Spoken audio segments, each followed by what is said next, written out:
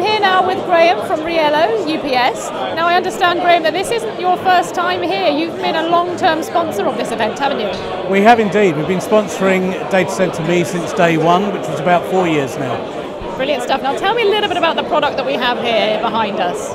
We're talking about our new modular uh, UPS system, which is built up with 42 kilowatt uh, UPS modules and the UPSs can be built up as the load grows in any uh, data center or any facility that you may have.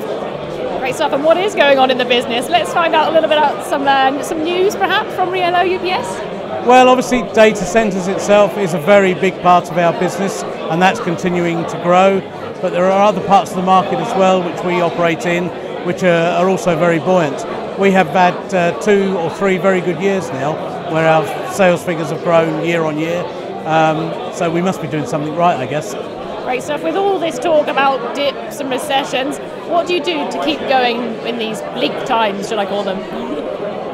I think bleak times, yes, but people will always need power and they'll always need to support their power, whether it be in telecoms or banking, data centres, and things like that. So, yes, there is a recession, but we're in a lucky position where it doesn't really affect us that much. Well, that's good to know. Do you think that you'll be back at the next event?